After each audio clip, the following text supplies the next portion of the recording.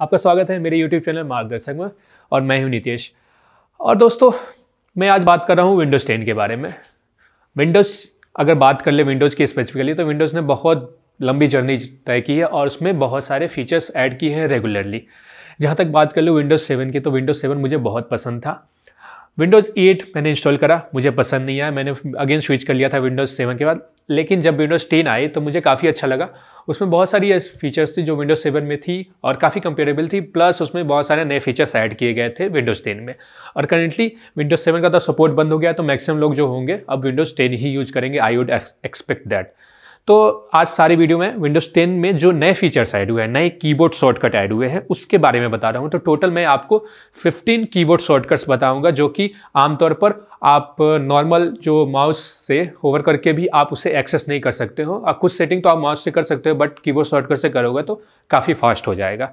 तो टोटल ऐसी fifteen keyboard shortcuts मैं बताने वाला हूँ।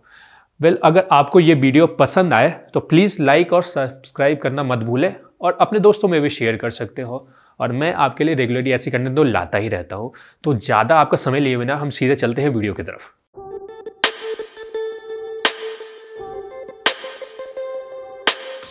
तो सबसे पहला कीबोर्ड शॉर्टकट है, जो मैं स्टार्ट कर रहा हूँ। इमोजी जैसा कि आप लोग जानते हैं कि आप स्मार्टफ़ोन में रेगुलरली इसे यूज़ करते हैं बट जो विंडोज़ में है ना, आपको बहुत आसानी से नहीं मिलता है। लेकिन क्या आपको पता है, ये विंडोज़ में ऑलरेडी इंटीग्रेट किया हुआ है। उसका एक विंडोज़ शॉर्टकट है। आपको क्या करना होगा? विंडोज़ प्लस डॉट या फुल स्टॉप जो जिस बटन को कहते हैं। तो विंडोज़ प्लस डॉट को अगर आप एक साथ क्लिक करोगे तो आपके पास इमोजी ओपन हो जाएगा। एक इमोजी बॉक्स ओपन होगा और वो आप कहीं पर भी ओपन कर सकते हैं। लाइक आप वर्ड फ़ाइल में यूज़ कर रहे हैं या कहीं वेबसाइट में कोई वेब एड्रेस डालें वहाँ पर आपको सिंपली कर्सर ले जाना है। वहाँ वहाँ पर विंडोज़ प्लस डॉट क्लिक करना है। आपका इमोजी बॉक्स ओपन हो जाएगा। आप माउस से उसे सिलेक्ट कर ले, जो भी आपको अच्छा लगे। सेकेंड जो कीबोर्ड शॉर्टकट है इसमें आप जो क्लिपबोर्ड हिस्ट्री है, आप फाइंड आउट कर सकते हैं। लाइक आप बहुत बार क्या होता है कि आप कोई बड़ा, कोई फ़ाइल लिख रहे हैं या बहुत चीज़ फ्रिक्वेंटली कॉपी कर रहे हैं और पेस्ट कर रहे हैं। तो बहुत बार ऐसा होता है कि आपने जो दो स्टेप पहले कॉपी किया था, आप उससे पेस्ट करना चाहते हो। बट वो क्या होता है कि नहीं, जो रिसेंट कॉपी होता है, वही हिस्ट्री में रहता है आपके कीबोर्ड हिस्ट्री में। तो आपको अगर लास्ट तीन चार हिस्ट्री अगर फाइंड आउट करनी है तो उसका भी एक सोल्यूशन है। उसका शॉर्टकट है विंडोज़ प्लस भी इसमें आपको टोटल लास्ट ट्वेंटी फाइव जो आपने कॉपी किए थे क्लिपबोर्ड में, वो सारे सेव रहते हैं। तो अगर आप पच्चीस स्टेप पहले आपने कुछ चीज़ कॉपी करा था, वो भी आपकी हिस्ट्री में सेव रहता है ना? बहुत कमाल की बात। तो आप वहाँ से जाके सिंपली उसे क्लिक करना है आपको और वहाँ से आप अपनी हिस्ट्री को कॉपी कर सकते हैं। बहुत बार आप विंडोज़ यूज़ करते हैं तो आपका कोई प्रोग्राम होता है, कोई सेटिंग होता है जो कि आपके डिस्प्ले ड्राइवर से कॉन्फ्लिक्ट करता है तो आपका डिस्प्ले उतना अच्छे से नहीं काम करता है। तो बहुत बार आपको उसके रिसेट करने की ज़रूरत होती है। तो रिसेट करने के लिए भी एक बहुत अच्छा कीबोर्ड शॉर्टकट है Windows control shift plus B. ये ऑटोमेटिकली आपके जो डिस्प्ले ड्राइवर है उसको रीसेट कर देगा इसके ओरिजिनल प्रोजेशन में ला देगा तो आपका जो कन्फ्लिक्ट है वो उस टाइम के लिए बंद हो जाएगा। और जो फोर्थ कीबोर्ड शॉर्टकट है ये भी काफ़ी यूनिक है। आ, हम जो फ्रीक्वेंटली प्रोग्राम्स यूज़ करते हैं उसको हम टास्क बार में रखते हैं राइट जनरली मैं तो वही करता हूँ कि जो भी मैं प्रोग्राम रेगुलरली यूज़ करता हूँ, उसको अपने टास्क बार में रखता हूँ। तो आप उसे क्लिक करते हैं तो ओपन हो जाता है। लेकिन वहाँ पर आपने नोटिस किया होगा कि यहाँ पर अगर आपको एडमिनिस्ट्रेटर एक्सेस से इसे ओपन करना है तो उसका कोई शॉर्टकट नहीं रहता है वहाँ पर। डेस्कटॉप पर तो आपने कोई फोल्डर या कोई प्रोग्राम रखा है तो उसे राइट क्लिक करके आप एडमिनिस्ट्रेटर एक्सेस दे देते हो, लेकिन यहाँ पर नहीं दे सकते। तो उसका एक विंडो शॉर्टकट है। इसमें आपको क्लिक करना है कंट्रोल शिफ्ट प्लस उस प्रोग्राम पर क्लिक करो ऑटोमेटिकली वो आपका एडमिनिस्ट्रेटर एक्सेस अलाउ करने का ऑप्शन आ जाएगा। वहाँ पर यस नो करके आप उसे स्टार्ट कर सकते हो। और जो फिफ्थ शॉर्टकट है, इसमें आपको एडवांस विंडो ओपन करने का ऑप्शन मिल जाता है। इसमें आपको सिंपली क्लिक करना है विंडोज़ प्लस एक्स तो आपका एडवांस ऑप्शन ओपन हो जाएगा। वहाँ पर आप कंट्रोल पैनल में विंडोज़ सेल में जा सकते हैं। अब बहुत सारी फीचर्स होती है जो कि आप एडवांस यूज़र है तो इसे एक्सेस कर सकते हो। और जो सिक्स शॉर्टकट की है, इसमें अगर आपको नोटिफिकेशन एक्सेस करना है तो उसके लिए बहुत अच्छा ऑप्शन है। विंडोज़ प्लस ए क्लिक करना है। सिंपली आपका जो नोटिफिकेशन पैनल है, वो ओपन हो जाएगा। नेक्स्ट अगर आपके पास वायरलेस एक्सेसरी आप रेगुलरली उसे कनेक्ट और डिस्कनेक्ट करते हैं तो उसका बहुत अच्छा ऑप्शन है।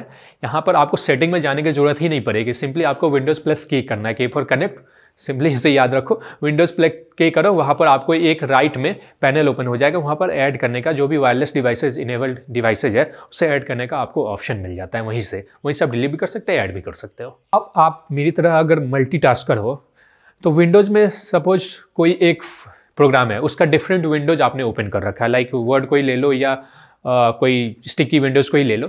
तो वहाँ पर चार पाँच आपने उसी का विंडोज़ ओपन कर रखा है और आपको क्विकली स्विच करना है उस सारे में।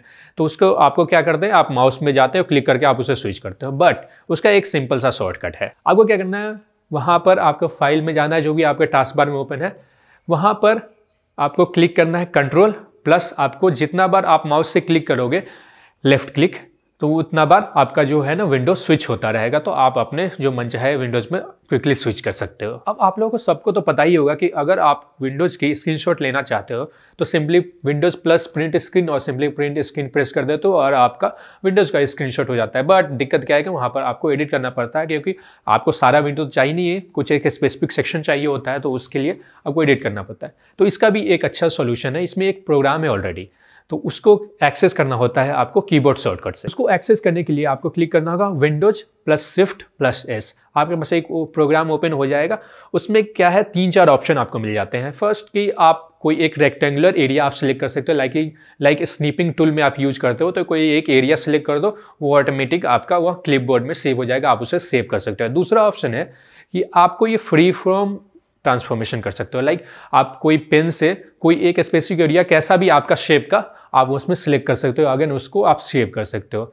और थर्ड ऑप्शन या फोर्थ ऑप्शन है कि आप फुल स्क्रीन को एडिट कर सकते हो फुल विंडो को एडिट कर सकते हो लाइक प्रिंट स्क्रीन में आप करते हो। कोटाना कोटाना तो नाम सुना ही होगा, लेकिन मैं उसका बहुत बड़ा फ़ैन नहीं हूँ। अगर आप उसे फ्रिक्वेंटली यूज़ करते हैं तो उसको बुलाने का बहुत आसान तरीका है विंडोज़ प्लस सी सी फो कोटाना आपको याद रहेगा ही।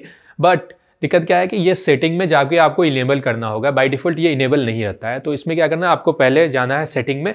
वहाँ पर आपको जाना है कोटाना में एंड देन आपको करना है कीबोर्ड शॉर्टकट तो जैसे ही आप उसे इनेबल करेंगे, वो आपका शॉर्टकट इनेबल हो जाएगा। उसके बाद आप विंडोज़ सी क्लिक करके आप उसे एक्सेस कर सकते हो आसानी से। अब विंडोज़ सेटिंग में जाने का भी एक शॉर्टकट तरीका है और इसे हम कैसे मिस कर सकते हैं? तो विंडोज़ प्लस आई आप क्लिक करोगे सिंपली आप विंडोज़ की सेटिंग में जा सकते हो। अब जहाँ तक हम बात कर ले इंडिया में गेमिंग एक्सपीरियंस की तो गेमिंग बहुत तेज़ी से इंडिया में बढ़ रहा है, क्योंकि इंटरनेट आ चुका है और इंटरनेट बूम पर है सेम उसके साथ ही साथ गेम भी बूम पर चल रहा है। तो हमारे यहाँ बहुत सारे ऐसी चैनल्स बन गई हैं, बहुत सारे ऐसे लोग हैं जो उसे स्ट्रीमिंग करते हैं या उसे रिकॉर्ड करके अपलोड करते हैं यूट्यूब में। तो ऐसे में आपके लिए विंडोज़ ने भी एक ऐसा शॉर्टकट की, या मतलब ऐसी सेटिंग डाल दी है, जिसके थ्रू आप अपना जो भी गेम खेल रहे हैं, उस टाइम आप उसकी रिकॉर्डिंग कर सकते हैं ऑटोमेटिकली विथ इसकी माइक्रोफोन के साथ, जो डिफ़ॉल्ट माइक्रोफोन है, उसके साथ आप इसकी रिकॉर्डिंग कर सकते हैं। इसका शॉर्टकट है Windows plus alt plus R उसके बाद आपकी रिकॉर्डिंग ऑटोमेटिक स्टार्ट हो जाएगी। लेकिन ये इनेबल तभी होगा जब आप कोई गेम खेल रहे होगा और विंडोज़ उसे डिटेक्ट कर लेगा। अब ये जो नेक्स्ट जो शॉर्टकट की है, ये उन लोगों के लिए जो रेगुलरली कुछ लिखते हैं टाइपिंग करते हैं आर्टिकल्स लिखते हैं, या किसी पेपर वगैरह के लिए रिसर्च पेपर के लिए लिखते हैं तो उसमें क्या होता है, बहुत बार क्या होता है, आप कुछ चीज़ें लिख रहे हो और उसे डिलीट कर देते हो। बट अगेन आपको अंडू करना होता है। लेकिन अंडू करने का बहुत बार कोई ऑप्शन आपको शॉर्टकट की मिलता नहीं है। तो उसका एक शॉर्टकट बहुत अच्छा शॉर्टकट की है कंट्रोल वाई कंट्रोल जेड से तो रीडू कर सकते हैं बट कंट्रोल वाई से आप इसे अंडू कर सकते हो। और ये आप ब्लॉगिंग अगर करते हैं, वहाँ पर भी आप यूज़ कर सकते हो, या वर्ड फ़ाइल या कोई टेक्स्ट एडिटर वहाँ भी आप सेम चीज़ यूटिलाइज कर सकते हो। विंडोज़ मोस्टली जो भी आप विंडोज़ में यूज़ करते हैं, वहाँ पर आप इसे यूज़ कर सकते हो। अगेन ये उनके लिए है जो राइटिंग स्किल मतलब राइटिंग करते हैं। तो इसमें क्या होता है कि राइटिंग आप कर तो रहे हो, लेकिन हर चीज़ आप लिखते नहीं हो। बहुत सारे जो डेटाज होते हैं, कुछ कंटेक्स्ट होता है, कहीं से आप कॉपी और यहाँ पर पेस्ट करते हो। बट आपको क्या है ना फॉर्मेटिंग सेम रखनी होती है।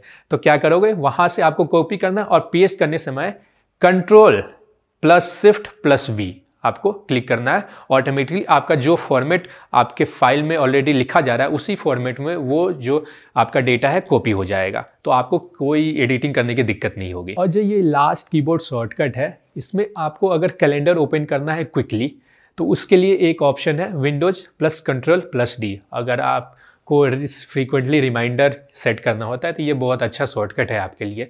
आई होप आपको सारे सेटिंग्स समझ में आई होगी। मैंने वीडियो करके भी दिखाया था कि आप लोगों को अच्छे से समझ में आए। फिर भी बहुत लोग ऐसे होते हैं जिन्हें प्रॉब्लम हो जाती है तो आप कमेंट में कमेंट करके पूछ सकते हैं कि कैसे करना है इसे। अगर आपको कोई और नया शॉर्टकट्स या इसके जो एक्सटेंशन वीडियो चाहिए मतलब पार्ट टू वगैरह चाहिए अगर आपको और तरह बहुत सारे ऐसे कीबोर्ड शॉर्टकट्स और भी होते हैं। मैंने केवल नया फीचर्स जो था उसे बताया था और भी बहुत सारे हिडन फीचर्स होते हैं। तो अगर आपको एक स्पेशल अगर वीडियो चाहिए तो उसके लिए आप कमेंट कर सकते हैं।